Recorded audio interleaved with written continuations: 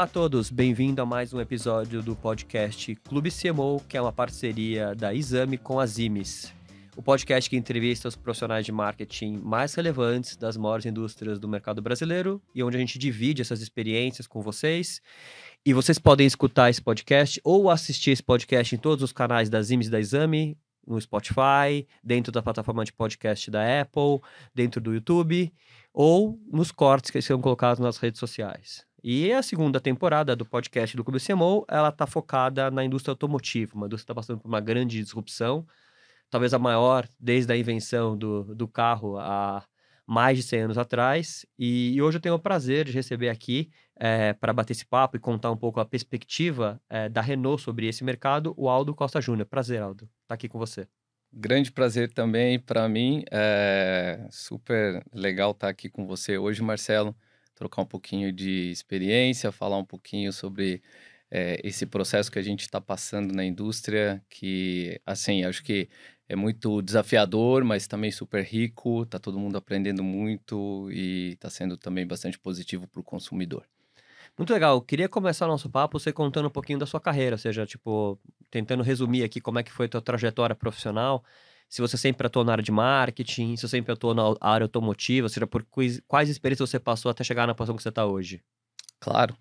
Bom, é, eu sou da categoria de base, eu costumo falar. Assim, eu cresci na Renault, basicamente. É, tipo sou trainee, formado, assim, já foi? Tipo, o... tipo trainee. Eu é. sou formado em publicidade e propaganda. É, eu comecei na Renault como estagiário. E lá eu fiz minha carreira, eu trabalhei em, em agência antes, mas bem brevemente e a, logo no início eu acabei entrando na Renault, então eu tenho é já... É comum isso, Aldo, na indústria, na indústria automotiva? Pessoas que estão muitos anos, tipo, na mesma indústria? Antigamente assim? era. Ah. Hoje a gente já vê um pouco mais de é, rotatividade, uh, o jovem tem já um pouco mais de vontade de girar e a indústria automotiva perdeu um pouco também o apelo que ela tinha no passado. Sim. Ela tinha bastante... Para e talento, você fala. É, exatamente. Hoje empresas de tecnologia também concorrem bastante, mas ainda é uma indústria que tem, tem bastante interesse, né? Gera bastante atratividade. E eu, né, como qualquer moleque de 16, 17 anos, eu adorava carro, é, vinha já dessa é, dessa experiência é, com carros, é, vinha da família, com meu pai gostava muito de carro, sempre tinha muito cuidado. Era aquela cultura de você lavar o carro no final de semana na uhum. garagem, sabe? Com o pai, com o irmão. Então tinha realmente já um, um apego com, com a indústria. E trabalhar na Renault veio assim como uma luva, putz, é super legal. É, vou trabalhar com algo que realmente me desperta bastante paixão. É, a Renault, uma marca que era super recente no, no Brasil, apesar de ter uma história de importação e tudo, mas instalada mesmo, ela tinha chego faziam quatro anos, basicamente. Quando foi que a Renault começou no Brasil? Como... 98, ah. eu entrei em 2002. E então era bem o comecinho, é, você tinha aí o, o, primeiro ciclo de produtos da Renault é, praticamente cons se consolidando. É, e é, eram produtos é, bem interessantes, produtos é, com uma proposta diferenciada, como o primeiro monovolume da, do, do mercado brasileiro, que era a, a Renault Scenic, então foi, foi interessante entrar já numa marca que tinha uma proposta diferente. E a Renault ela tem uma coisa que a gente fala, ela contagia e a gente acaba ficando com o sangue amarelo, a gente fala, porque tá no pantone da marca, Sim. enfim, a gente fala que o sangue fica amarelo. É, eu acabei ficando é, e a gente, eu entrei na, na área de CRM, né? Uh, trabalhava com a parte de eventos com clientes, é, toda a comunicação cliente, mala direta, e-mail marketing, esse tipo de coisa. Depois fui é, efetivado, comecei a trabalhar com a parte de banco de dados, é, toda a parte analítica de CRM. Então, comecei a ir para uma área um pouco menos de criação, de criatividade, trabalho com agências, e para acabei migrando para um lado um pouco mais analítico, né? Mais é, ligado até com a inteligência de marketing.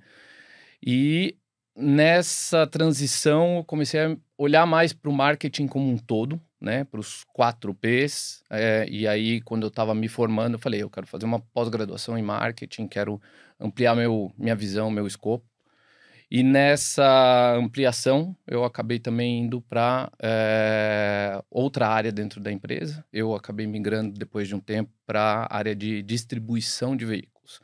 Porque eu já estava conhecendo de sistemas, eu fiquei meio é, assim, nerd sobre uhum. os processos e tudo, e acabei migrando para a área de distribuição de veículos, trabalhava com logística. Trabalha... De logi... Muito de logística? Trabalhava com a logística, mas estava ah. dentro do marketing, ah. fazia a parte mais operacional ali de é, business intelligence, de forecast de, quanto forecast de vendas, ah. de reports de faturamento, gestão de estoque, tudo isso. E desse, é, de, de, desse conhecimento aí, acabei indo depois para a área de planejamento estratégico. Aí, no planejamento estratégico, bom, abri a cabeça e acabei conhecendo um, muito sobre análise da concorrência, preço, Margem rentabilidade, toda a parte do marketing econômico, assim, né? E, pô, foi super, super legal. É, depois dessa passagem, eu fui para o campo, fui para a área de vendas pela primeira vez. É, eu tinha um chefe na época que me falava muito assim: olha, você tá no caminho, você é um cara que tem potencial, mas você tem que conhecer o terreno. Você, Põe tem, que, você tem que botar a barriga no balcão, você tem que ter a visão do cliente. E, e a gente está longe aqui, porque eh, essa indústria ela tem um intermediário tem um concessionário Sim. lá. Então você tem que conhecer a realidade do campo. E aí eu fui para o campo trabalhar como consultor comercial, né, que a gente tem essa figura dentro da, da, da Renault, da estrutura. E eu trabalhava na Regional Sul, então eu tinha responsabilidade sobre é, todas as concessionárias do Paraná e uma parte também de Santa Catarina. Você tinha que visitar as concessionárias lá? Rodava direto, ah. passava três semanas do mês praticamente viajando visitando as concessionárias, vendo o processo, acompanhando os indicadores.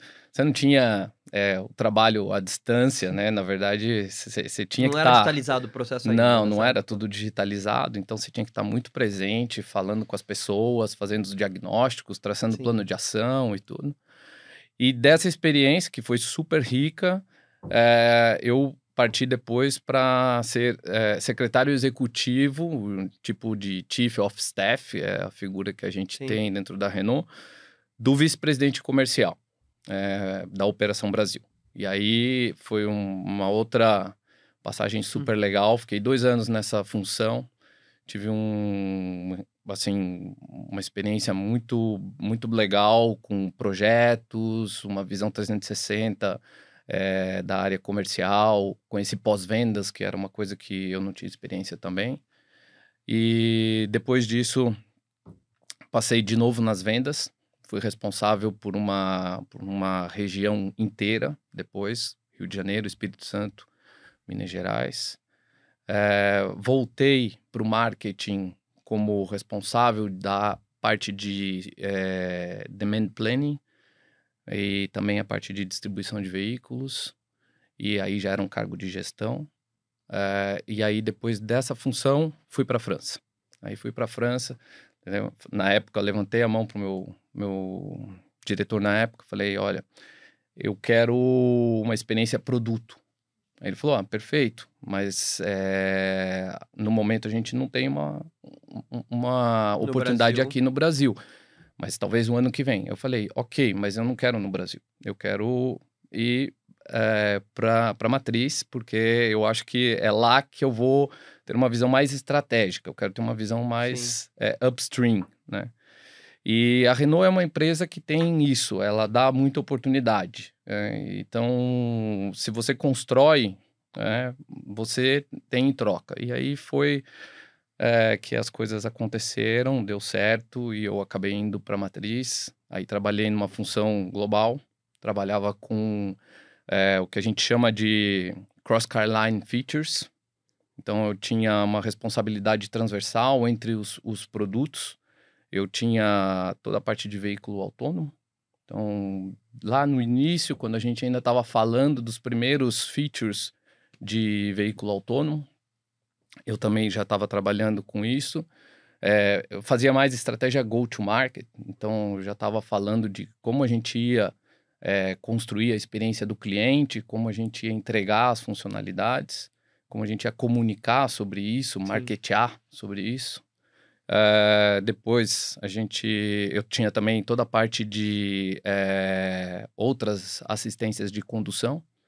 Uh, e enfim, algumas outras, é, alguns outros equipamentos transversais da gama, como é, som, som, premium que a gente tem nos carros lá, a gente tinha a Bose na época, então também fazia parceria com a Bose, tinha todo o contato com os caras, esse tipo de, de, de atividade. Foi super legal, porque era super visão futuro, longo Ficou prazo. dois anos lá? Fiquei dois anos e meio. E aí retornei. Aí retornei para o Brasil, um pouquinho antes da pandemia, para fazer uma função é, Latam. Aí eu era responsável pela parte de é, performance de vendas e marketing produto para Latam. E fiquei quatro anos nessa posição. E aí agora, fazem três meses Acabou e meio, assumi a responsabilidade pelo marketing do Brasil, da Operação Brasil.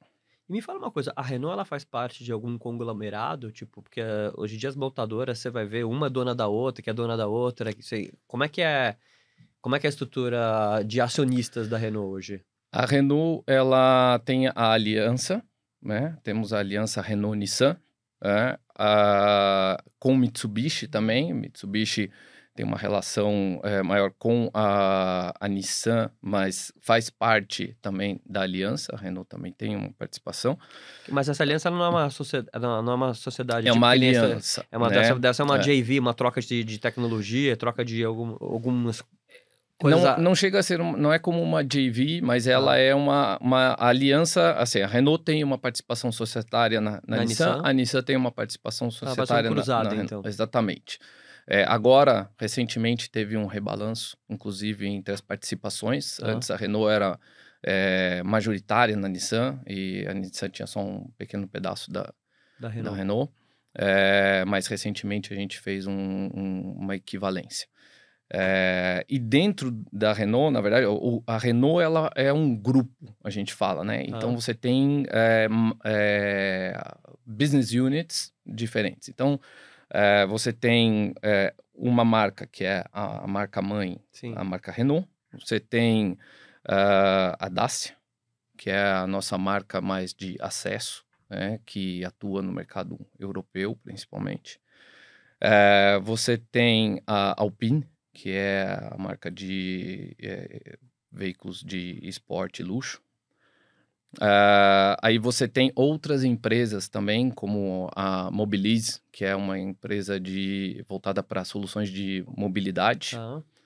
É, temos uh, uma empresa dedicada à economia circular, que é a The Future is Neutral. É uma empresa recente também. Uh, temos Ampere, que é a empresa que vai é, trabalhar o desenvolvimento de todas as plataformas elétricas da, que vai servir é, cada uma das marcas. Então, se você tem um veículo elétrico que vai ser comercializado pela Alpine, ele vai ser desenvolvido pela Ampere, assim como a Renault também, quando for comercializar um novo veículo elétrico. O powertrain, ser... a bateria, o battery pack. Exatamente. Dessa, dessa, Exatamente.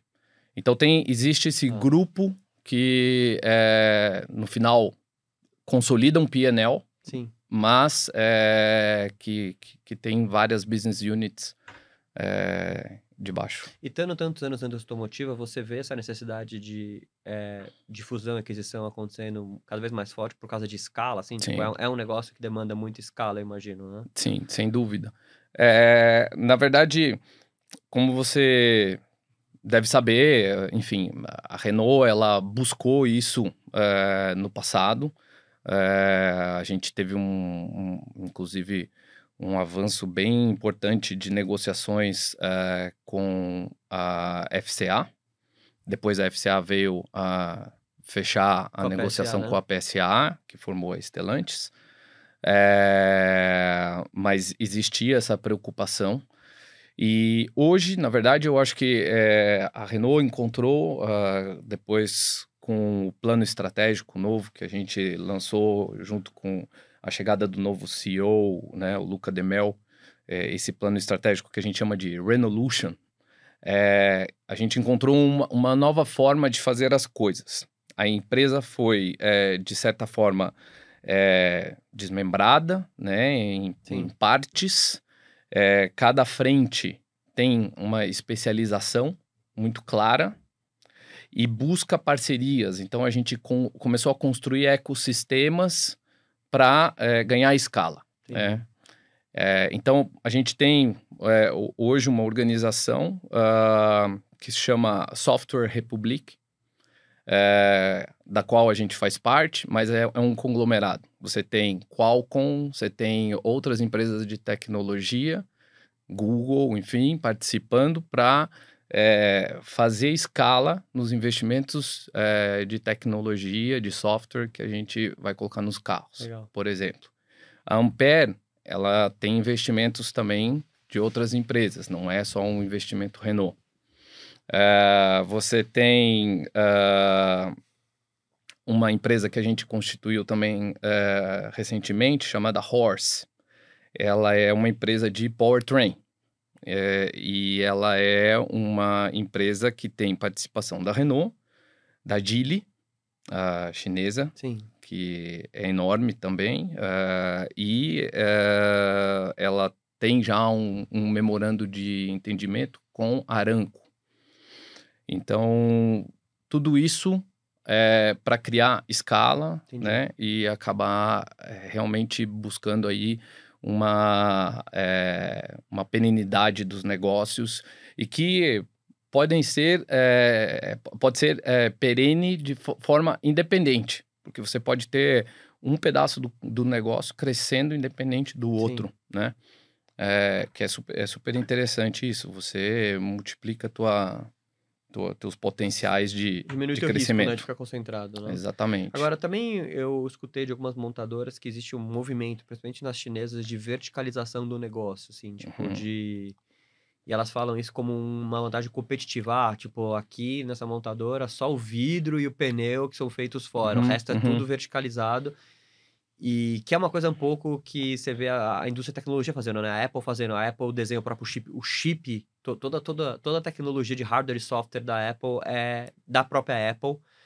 Você vê a indústria automotiva também fazendo isso? Seja, tipo, a Apple fala que é muito para controlar a experiência do usuário. Quando você controla tudo, quando, quando você desenha cada componente ali de um smartphone, você controla melhor e a experiência fica melhor para o usuário mas também tem outro efeito de escala, né? E de diferenciação que você que é só seu, né? Aquele chip é só seu, aquilo uhum, é só uhum, seu. Uhum. E a indústria automotiva, normalmente, historicamente, ela era, era o contrário, era um Lego, né? Tipo, a montadora, o próprio nome diz, montadora, né? Sim. Então, milhares, um ecossistema gigantesco de supply chain, de fornecedores, ultra especializado, do cara da vela, do carburador ali.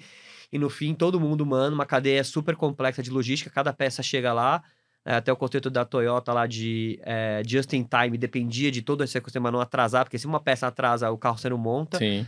E eu tenho visto muitas pessoas falando que, que, que esse modelo não é o melhor modelo, que, esse, que o modelo é melhor você verticalizar e você ter tudo dentro de casa. Mesmo que seja com vários subsidiários, se for que você uhum, uhum. Como é que você vê essa questão, tipo, da verticalização do business versus eu acho que depende muito uh, do que a gente está falando. Eu acho que existem coisas que podem ser interessantes verticalizar, é, outras não. Eu acho que tem algumas coisas que você pode sim ganhar, principalmente porque a, a, a verticalização pela verticalização, é, eu, enfim, não vejo muito sentido. É, se ela traz um ganho de custo, principalmente, é, eu acho que faz... uma diferenciação competitiva ou um ganho de custo. Né? Ou um ganho competitivo, ah. exatamente. Ah qual é o ponto? Eu acho que é, existem uh, alguns campos em que uh, não adianta eu querer verticalizar uh, quando eu tenho outros players no mercado que são especialistas naquilo e sabem fazer melhor.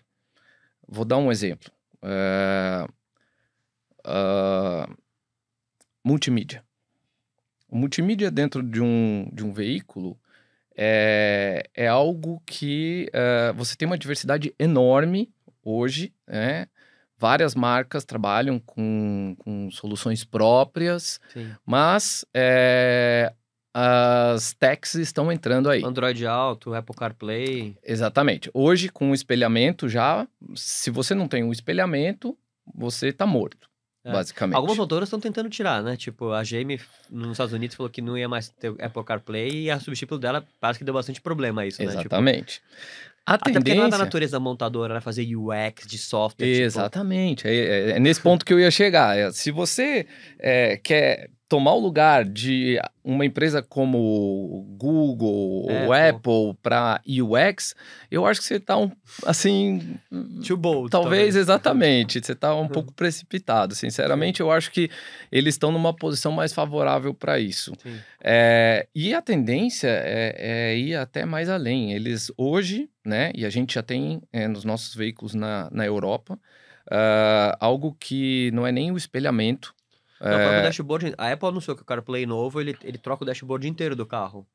O, tipo, o, o, o, espelhamento novo da Apple, Isso, o 2.0, tipo... ele já é assim. Mas, não, é mas o... assim, o, isso nenhum carro tem ainda, mas o que a Apple anunciou no último é, Developers Conference é que ela vai ter uma solução que as montadoras podem adotar, que o odômetro de velocidade, tipo, o dashboard da frente, uhum. também vai rodar é na o cluster, aham, uhum, ok. O cluster vai ser Apple CarPlay. Entendi. Então a experiência inteira de telas do carro, controle do ar-condicionado, tudo vai ser by Apple se, se, a montadora quiser. Entendi.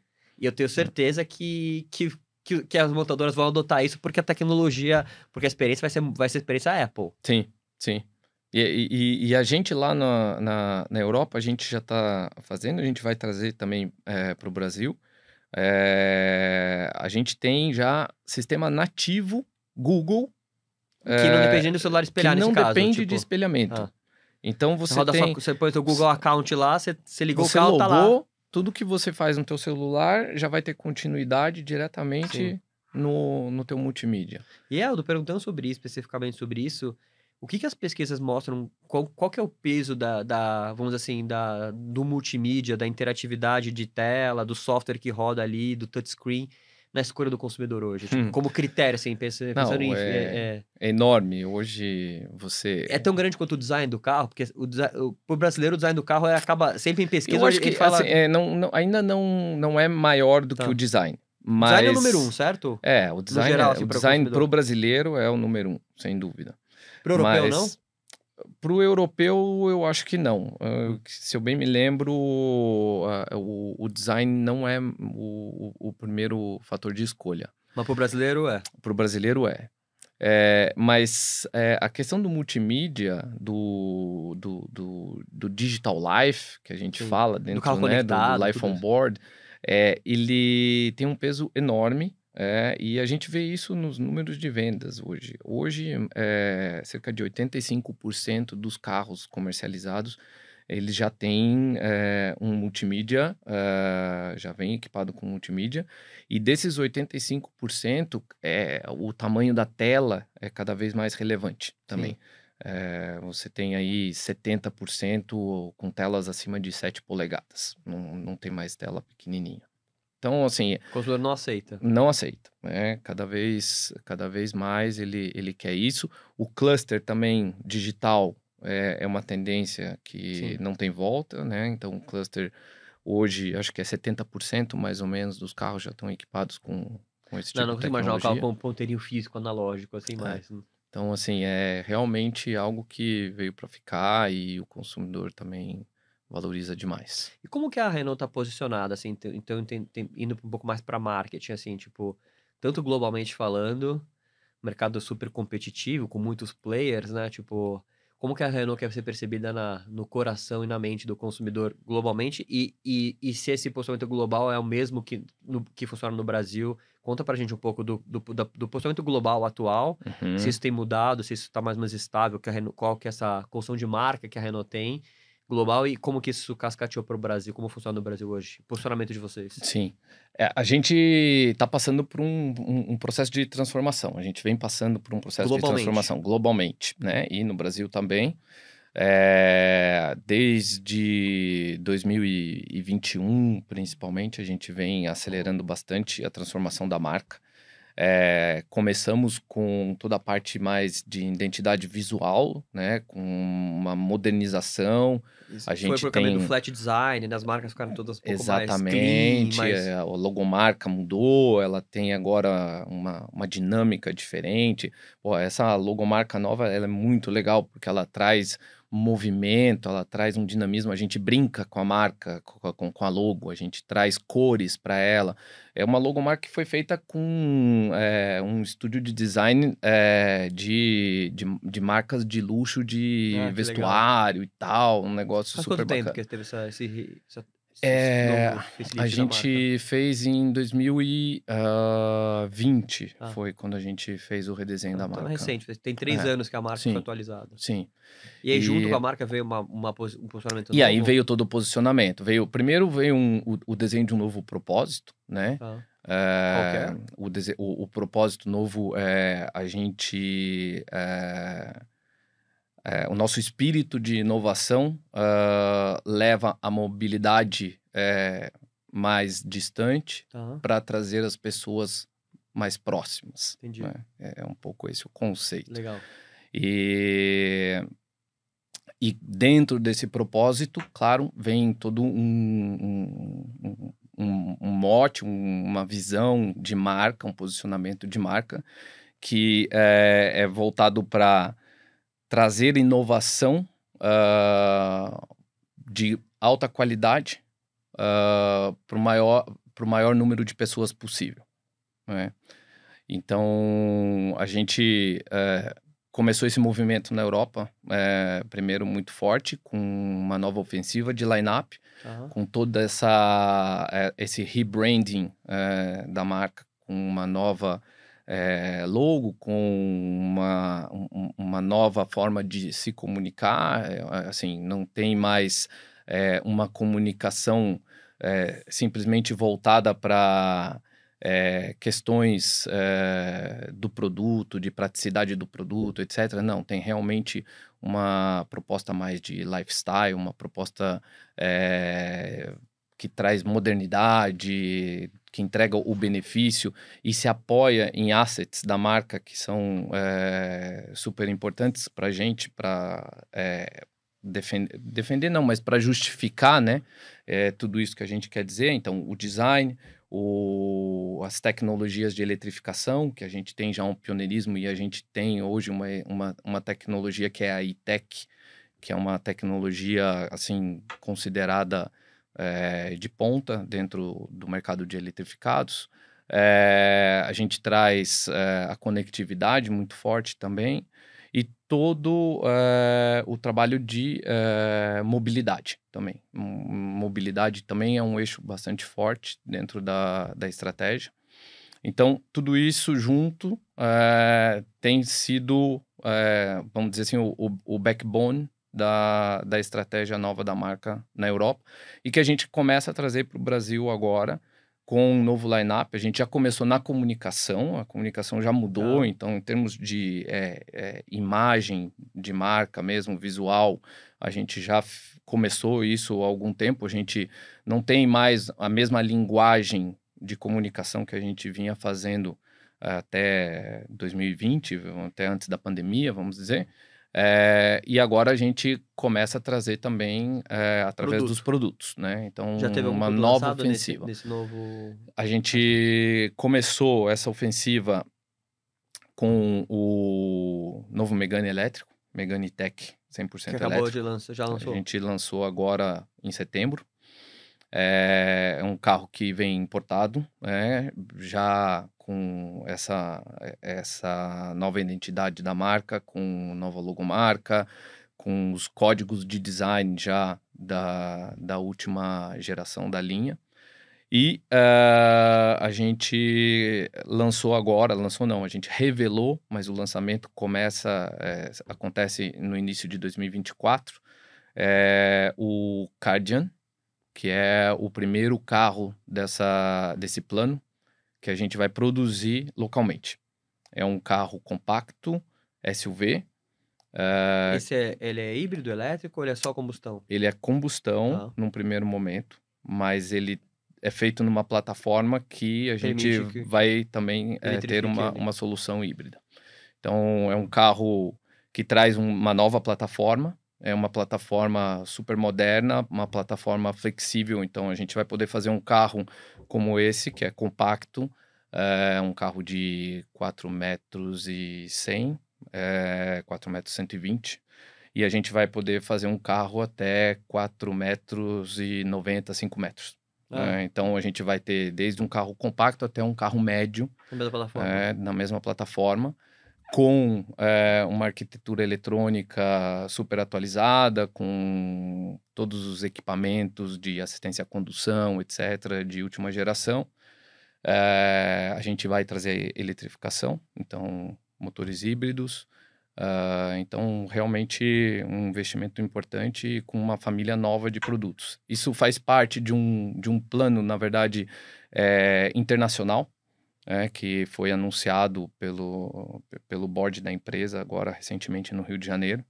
É um plano de lançamentos de oito produtos daqui até 2027, é, não só para o Brasil, mas para diversos países fora da Europa. Mas para o Brasil até a gente tem mais novidades além desses oito produtos uh, até 2027, porque a gente também tem outros que a gente vai estar tá importando. O plano é, é esse. Então, assim, tem bastante coisa legal vindo por aí. É, mas nessa plataforma especificamente, então tem essa novidade que chega. Pensando um pouquinho, assim, você está muitos anos na indústria, né? Acabou de, de assumir uma posição de, de, de, líder de marketing aqui da Operação Brasileira. O que, que, você acha que mudou desses anos todos teu dentro da indústria na, no, no processo de, de, da jornada do consumidor para comprar um carro, né? Ou seja, tipo, pensando como era 20 anos atrás lá e como é hoje e, e se você acha que a indústria e você especificamente estão é, atualizados com isso, né? Porque, tipo, normalmente o consumidor muda primeiro e aí, e aí uhum. as empresas vão atrás dessa mudança do consumidor, né? Uhum. É, você, como é que você vê esse porque eu, eu, imagino que o consumidor tem um comportamento bem diferente hoje do que tinha lá atrás, até de nível de informação que ele tem, a relação que ele tem com o dealer, como ele, como ele constrói awareness, consideração. Então, eu queria que você falasse um pouquinho dessa jornada do uhum. awareness, consideração até a compra de um carro como é que você vê isso atualmente hoje na indústria? É, é na verdade, eu acho que uh, a, a jornada do cliente hoje, ela mudou, ela é completamente diferente de 5, 10 anos atrás. Ah. Completamente diferente. Ela não é mais linear, né? Ela é uma jornada que, assim, ela tá no awareness, é, de repente ela tá na consideração, ela volta no awareness, ela vai para consideração. Não é um funil bem Não é né? exatamente um funil, né? Ela fica é, rodando e a conversão é algo muito mais rápido, por isso que o cliente acaba não visitando mais quatro, cinco concessionárias, ele visita uma, duas no máximo e fecha o negócio. Né? Ele chega é. no no dealer já decidido, né? Já chega decidido. É, todo o processo de decisão, praticamente, ele já fez, ele já filtrou. E, assim, é, na verdade, hoje a gente mede isso, né? Uh, diariamente a gente tem Sim. fluxo de loja e pedidos. É, que a gente recebe dos Sim. dealers. É, e a gente vê hoje o, o índice de conversão que a gente tem do fluxo de loja é altíssimo. Comparando já, com. Só vai na loja se ela quer mesmo comprar. É, comparando com o passado. Antigamente, quando eu comecei a, a, a trabalhar na Renault, a gente olhava fluxo de loja é, e conversão, 15%. Sabe? Tinha muita gente que ia passear, era um programa Exato, de domingo. era um lá, programa, exatamente. Carro. Tinha que passar 10 pessoas praticamente para você vender um carro, Entendi. entendeu? Agora não. Agora é, é, altíssimo o nível de conversão. Ou seja, é muito importante, então, todo esse, todo esse conteúdo digital disponível, que é onde o cara tá, é onde a pessoa vai, vai tomar a decisão. Totalmente, totalmente. E, é, é, assim, e digital e não somente o digital, é, é multicanal, né? Ah. Assim, eu acho que o cliente está é, olhando na televisão, está com o celular na mão, tá. ele está sendo impactado na rua, na pelo, rua out of pelo out of home, tá o tempo inteiro. Hoje, realmente... E é, isso é um desafio no final para você se diferenciar, né? Para realmente fazer diferença e, e chamar atenção. E, e, nesse aspecto, tipo, como é que você vê o papel dos creators, os influenciadores, pessoas que têm canal no YouTube que avalia carro? É, imagino que isso tenha, tenha crescido bastante o peso de, da influência dessas pessoas aí na decisão de compra. Né? Sim, sim, com certeza. É, a, gente, a gente acha bastante relevante, né? a gente considera bastante. Trabalhamos é, através de PR com, com esse público. Uh, já tivemos uma atuação maior com embaixadores. Ah. Uh, hoje a gente tem uh, somente um embaixador para um território que a gente começou a explorar recentemente, que é o Fernando Meligeni, para o território do tênis, ah. que é uma, faz parte de uma estratégia global que a gente tem de depois que a gente fez todo esse reposicionamento da marca, esse rebranding, a gente entrou com patrocínio também para Roland Garros.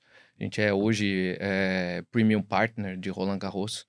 E, e, dentro dessa estratégia, um dos desdobramentos é ter embaixadores nos, em alguns países. E aí a gente escolheu o Meligene aqui no Brasil, é, que é um cara super carismático, tá, tá presente na mídia aí através do, da, da transmissão dos jogos, etc. E a gente acabou escolhendo ele.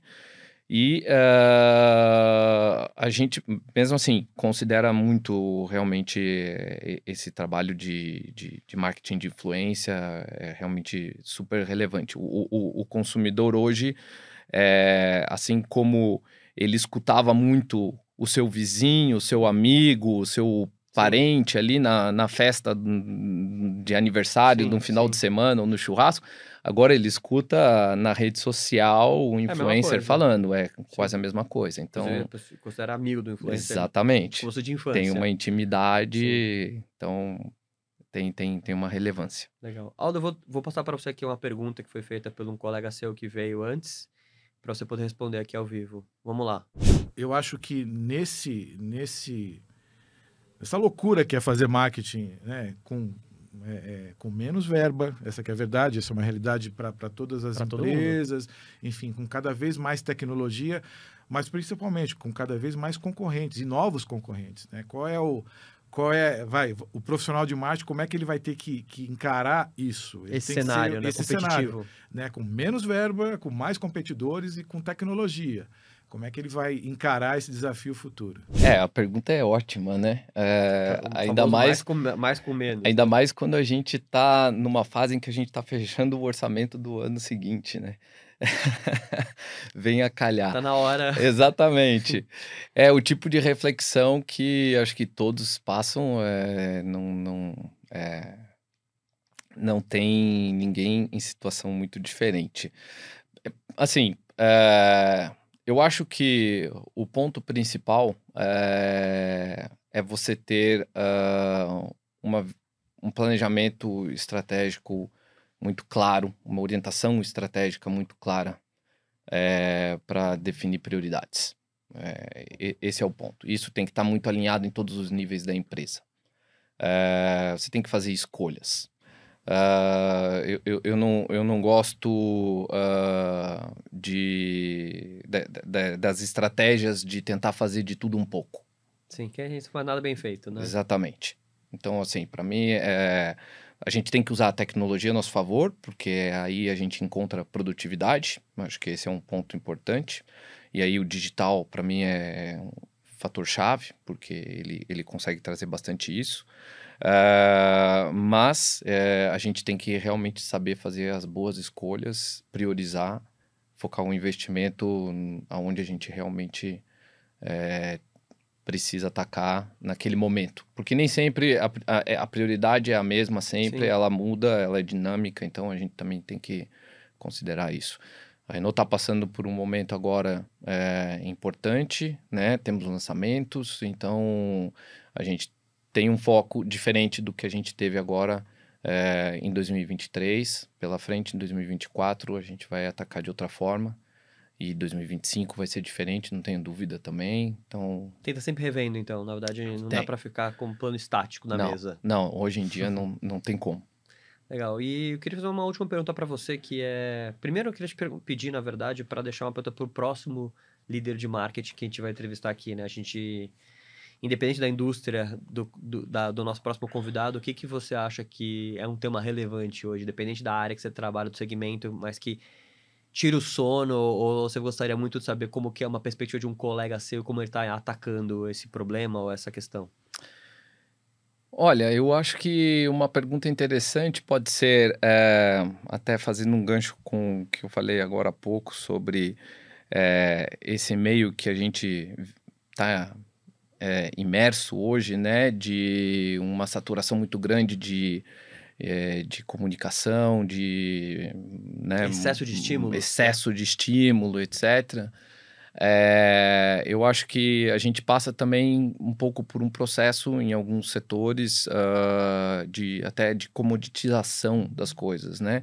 Como se diferenciar dentro desse contexto, né? Como que a gente encontra é, qual, é, qual, qual é o, o, o segredo para buscar diferenciação, a, a diferenciação para stand out né? É, uma pergunta. Porque... Acho que é, isso para mim é um dos do, pontos. Do oceano vermelho ali. Exatamente. É, quem, qualquer profissional de marketing acho que tem esse desafio hoje em Sim. dia. Não interessa o, o, o setor, né? Sim. Tá, tá lidando com isso direto. Exatamente. Não, ótima pergunta. E aí, para finalizar, então, eu queria que você fizesse uma reflexão assim. Tem muita gente que está escutando a gente aqui que está começando a carreira, né? É, o que você gostaria de saber, tipo, quando se você pudesse voltar numa máquina do tempo de volta para o futuro e falasse com o Aldo lá, começando a carreira, trainee lá na, na Renault e falasse, ó, oh, Aldo, que está começando a carreira, segue esses caminhos aqui, ó, cuidado com esses pontos aqui que vão, vão, podem te ajudar ou te prejudicar muito no no seu, na sua carreira. O que você gostaria de falar para você mesmo anos atrás? Olha, eu acho que uh, um dos pontos que eu talvez falaria para mim alguns lá no início da carreira seria o, o tempo é, é rei. É, go easy, sabe? Sem ansiedade. É, é exatamente. Diminui a ansiedade. Eu acho que eu tive um início é. de carreira que eu tive muita ansiedade, assim, ah. sabe?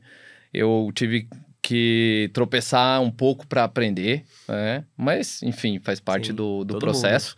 Sim, é, então eu acho que isso é uma das coisas que eu falaria. E, e bom, uh, eu não falaria para mim, porque eu acho que eu sempre tive essa, é, esse pensamento, mas eu falo para qualquer um que me pergunte um conselho que eu acho que funciona. É, seja sempre curioso, cara. pergunte, pergunte não existe pergunta tola, sabe? Nenhuma. É, sempre vale a pena você levantar a mão, não interessa se você está num contexto com muita gente, pouca gente, se é uma pessoa é, que, enfim, tem um, um nível hierárquico maior, maior, pergunte. Se você tem dúvida, pergunte. Muito bom. Queria te agradecer, obrigado por ter vindo aqui, ter dividido esse tempo com a gente. Uh, obrigado Prazer. por dividir uma série de coisas aí de uma indústria tão pujante. Acho que a indústria automotiva está passando por um momento muito pujante agora.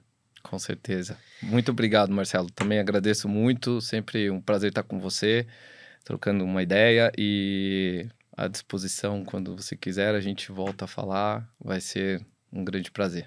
E queria agradecer a todos que estão assistindo, escutando a gente. Esse foi o nosso último episódio da segunda temporada do Clube CMO, do podcast que é a parceria da Exame com as IMES, onde a gente pegou e tem um 360 graus aí da indústria automotiva, fechando aqui com chave de ouro com o Aldo. E nos vemos na próxima temporada. Até mais.